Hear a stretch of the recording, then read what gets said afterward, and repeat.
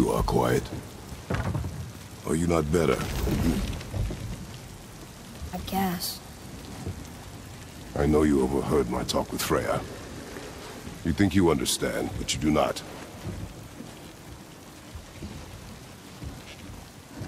Why do you say nothing?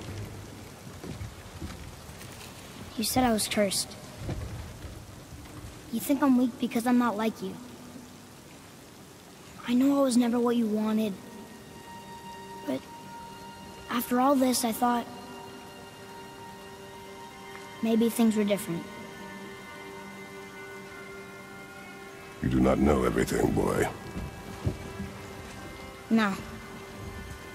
But at least I know the truth now. The truth.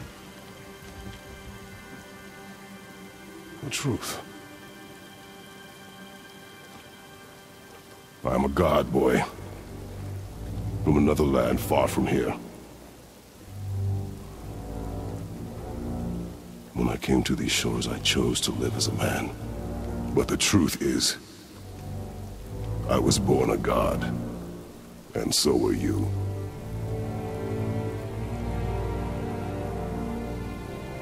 Boy, have you nothing to say?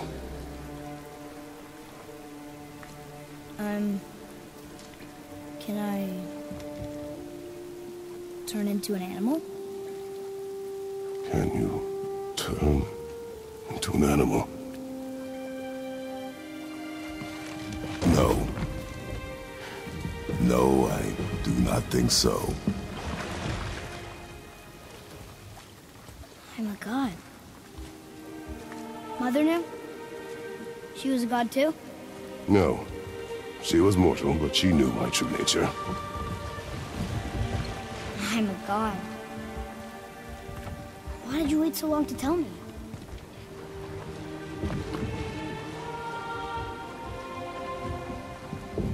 I had hoped to spare you. Being a god, it can be a lifetime of anguish and tragedy.